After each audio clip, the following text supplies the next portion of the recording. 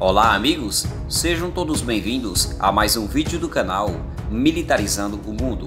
Nesse vídeo iremos falar sobre uma parceria estratégica entre a Rússia e o Brasil que envolve também o setor nuclear, com o presidente russo Vladimir Putin querendo que o nosso país seja uma grande potência nuclear em diversos aspectos, que também pode ser diretamente afetado positivamente o setor nuclear, principalmente do submarino nuclear Álvaro Alberto.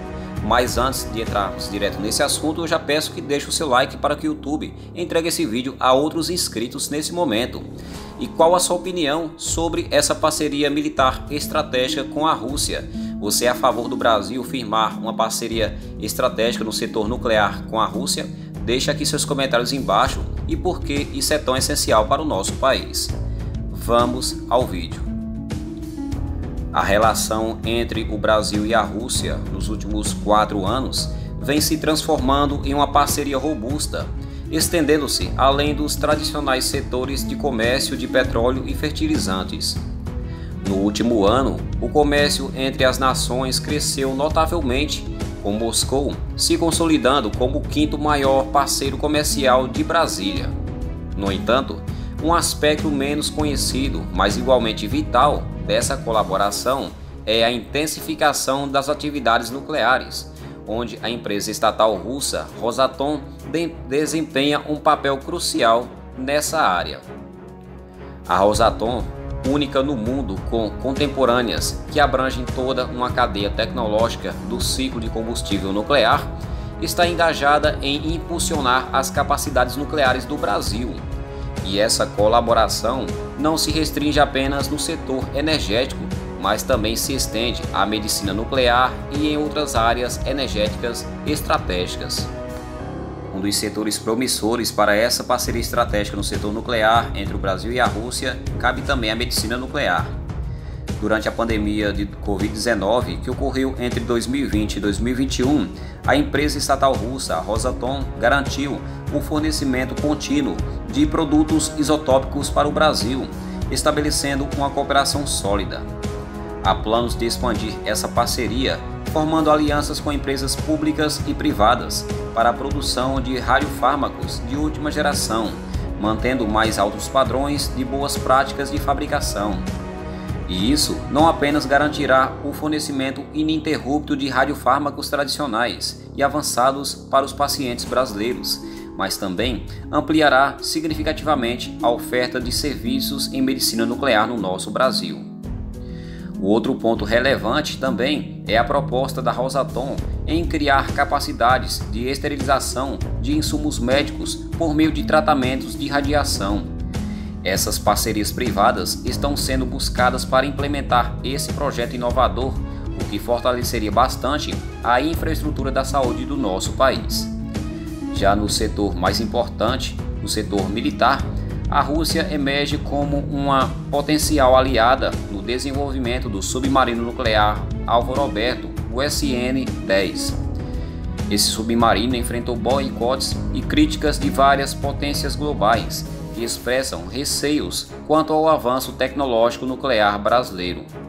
A expertise da Rosatom em submarinos nucleares poderá ser fundamental, especialmente diante das dificuldades em obter combustível nuclear internacionalmente, evidenciadas pelas recusas da França e a recusa dos Estados Unidos.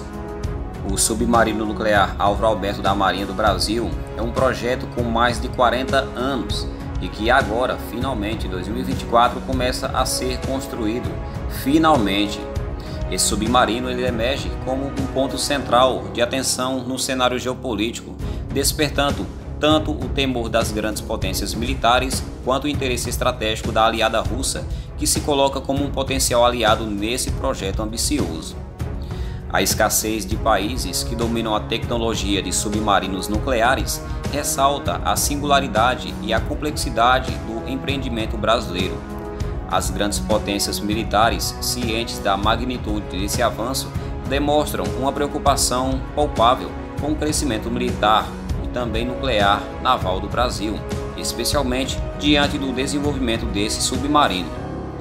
A Marinha do Brasil, em 2022, afirma que não irá abrir as portas para a Agência Internacional de Energia Atômica, que querem verificar as tecnologias sensíveis. E isso reflete uma postura de autonomia e proteção de tecnologias muito sensíveis. Você concorda com a Marinha do Brasil ou discorda com a Marinha do Brasil? Deixe seus comentários aqui embaixo. E voltando ao assunto, a Agência Internacional de Energia Atômica busca verificar essas tecnologias para liberar a navegação do submarino e tal processo pode se estender por até cinco anos. Essa resistência da Marinha do Brasil ressalta a importância estratégica do submarino Álvaro Alberto e a determinação do nosso país em manter o controle de suas capacidades nucleares. A importância desse submarino para a Marinha do Brasil é multifacetada, pois, além de representar um salto tecnológico significativo, o submarino nuclear Álvaro Alberto fortalece a dissuasão militar, contribuindo para a segurança e a soberania nacional. Essa capacidade de operar de maneira autônoma e estratégica em águas internacionais amplia as possibilidades da defesa do nosso país, tornando-se um ativo crucial para a projeção de poder naval.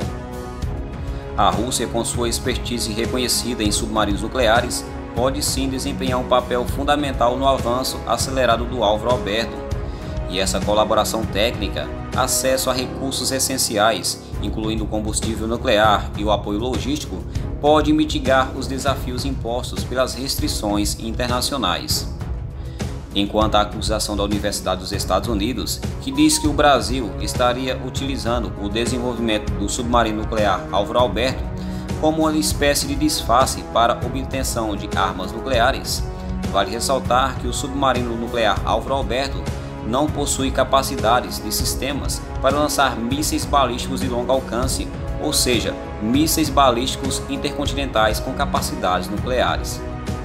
Mas é bom frisar que quando uma grande potência militar quer ser uma potência nuclear, primeiramente ela desenvolve as plataformas de lançamento, principalmente o lançamento via terrestre ou através de silos subterrâneos, ou então através de caças com suas ogivas nucleares.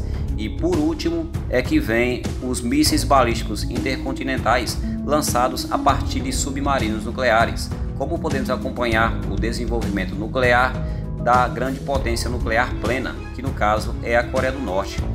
E nessa questão, a Marinha do Brasil, através do desenvolvimento do submarino nuclear Álvaro Alberto, como nós aqui do canal já conhecemos esse projeto, não tem capacidades para lançar mísseis balísticos intercontinentais, ou seja, mísseis nucleares para atacar países com até 10 mil quilômetros de distância. Voltando ao assunto, a parceria Brasil-Rússia no setor nuclear se torna mais relevante no contexto geopolítico atual.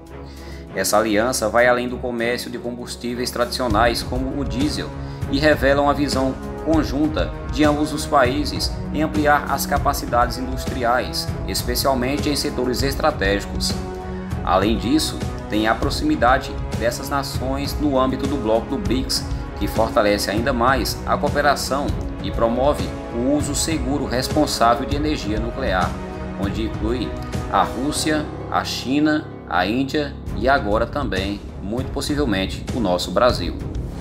Mas em uma suma, a colaboração entre o Brasil e a Rússia, impulsionada pela Rosatom, que também fará parte do desenvolvimento de algumas usinas nucleares no nosso país, abre o caminho para o desenvolvimento nuclear do nosso país em várias áreas, destacando a importância estratégica dessa parceria em um cenário global onde a energia nuclear desempenha um papel cada vez mais vital.